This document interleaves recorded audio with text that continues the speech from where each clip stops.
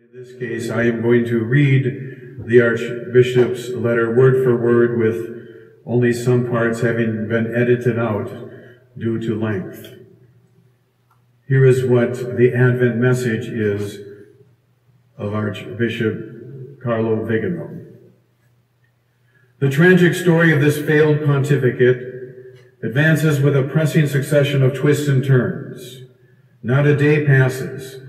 From the most exalted throne of the Supreme Pontiff proceeds to dismantle the See of Peter, using and abusing its supreme authority, not to confess but to deny, not to confirm but to mislead, not to unite but to divide, not to build but to demolish, material heresies, formal heresies, idolatry, superficiality of every kind. The Supreme Pontiff Bergoglio never ceases stubbornly to humiliate the highest authority of the Church.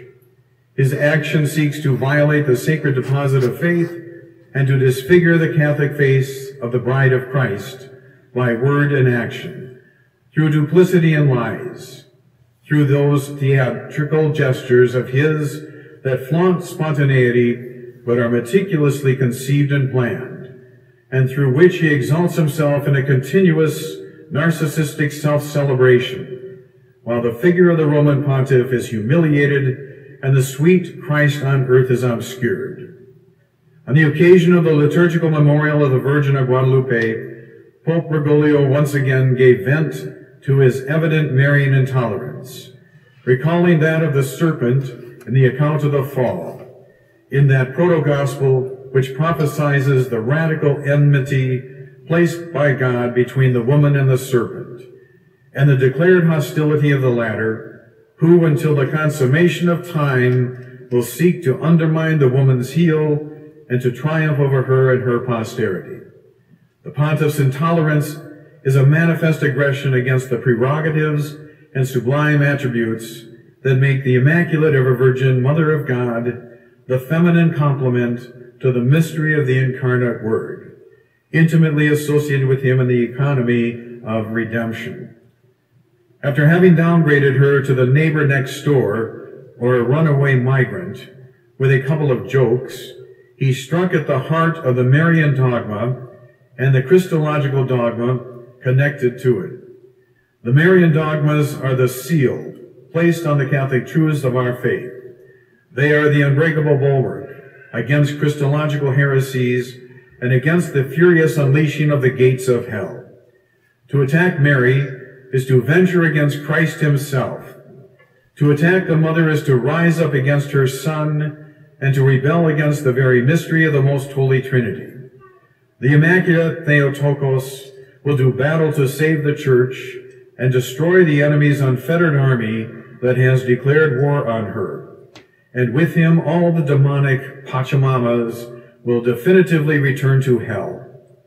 Pope Bergoglio no longer seems to contain his impatience with the Immaculate, nor can he conceal it under that seeming and ostentatious devotion which is always in the spotlight of the cameras, while deserts the solemn celebration of the Assumption and the recitation of the Rosary with the faithful.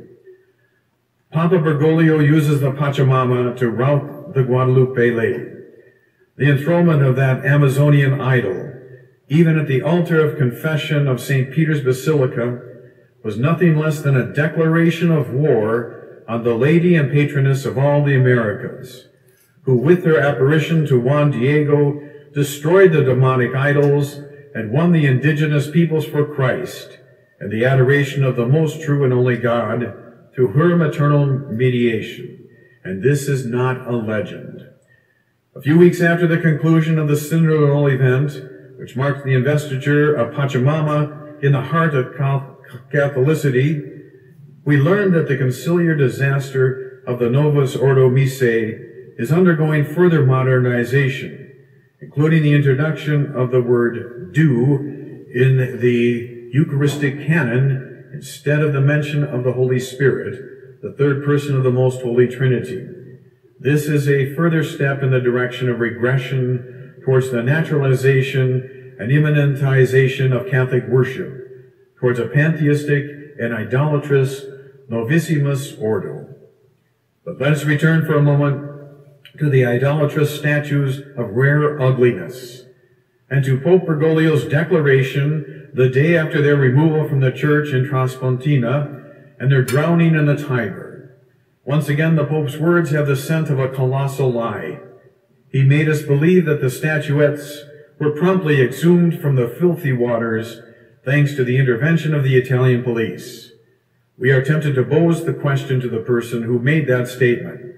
Certainly this time too, he would answer us with his eloquent silence. For more than six years now, we have been poisoned by a false magisterium, a sort of extreme synthesis of all the conciliar misconceptions and post-conciliar errors that have been relentlessly propagated without most of us noticing. Yes, because the Second Vatican Council opened Pandora's box, and so gradually that we did not realize the upheavals that had been carried out, the real nature of the reforms and their dramatic consequences.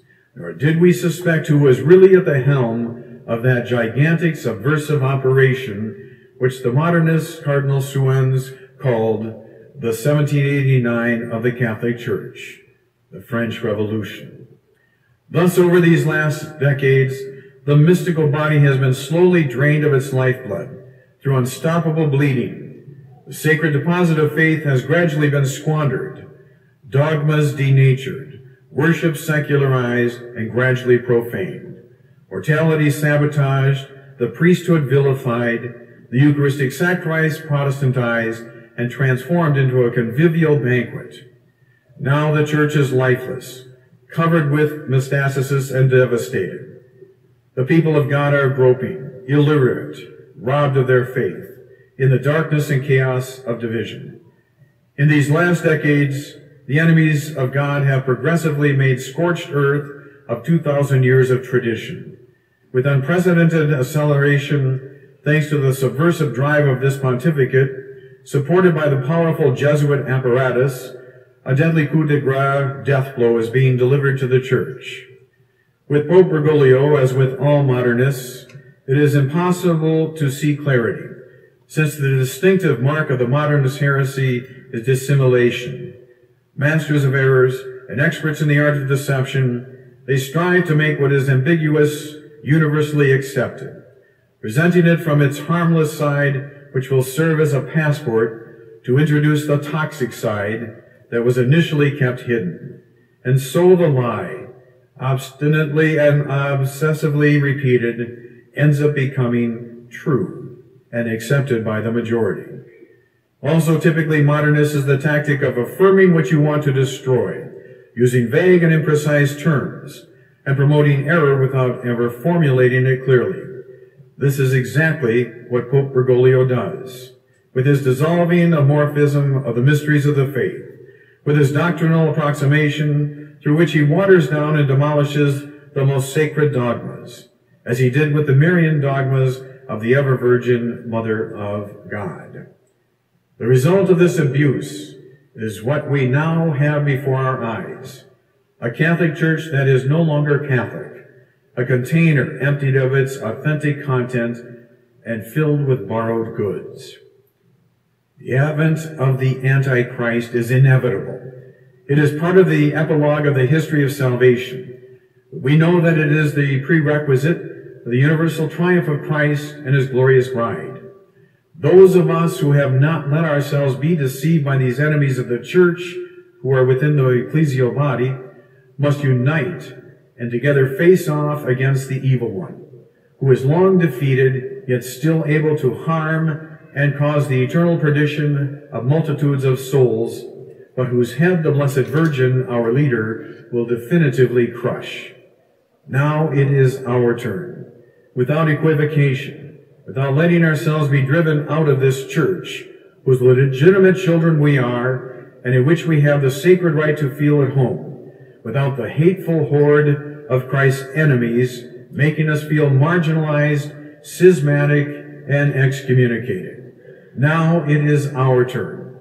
The triumph of the Immaculate Heart of Mary, co-redemptrix and mediatrix of all graces, passes through her little ones, who are certainly frail and sinners, but are absolutely opposed to the members enlisted in the enemy's army.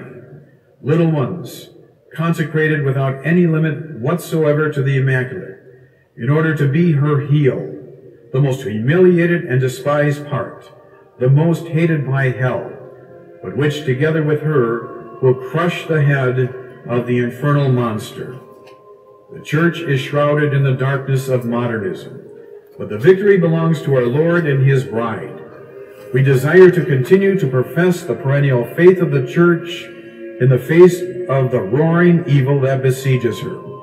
We desire to keep vigil with her and with Jesus in this new Gethsemane of the end times, to pray and do penance in reparation for the many offenses caused to them.